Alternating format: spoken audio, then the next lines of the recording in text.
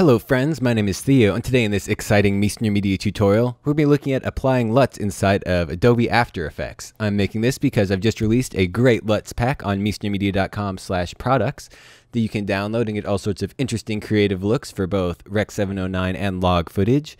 So without further ado, let's hop into After Effects and see how to make these work.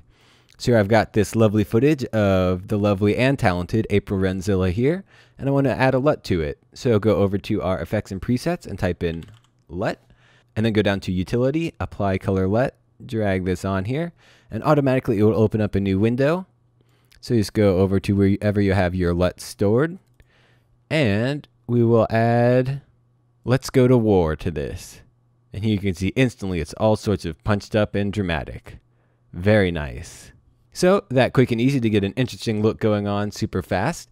LUTs are a great way to, you know, quickly stylize your footage and get grading ideas just real quick. So be sure to check out the House LUTs pack on miesnermedia.com slash products. If you like this video, give it a like. If you didn't, give it a dislike. No matter what, leave your feelings down in the comments below.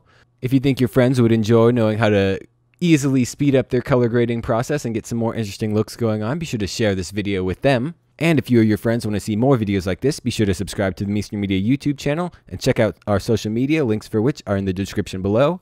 Once again, I've been Theo with Miesner Media. I hope you have a great day, and I will see you next time. Bye.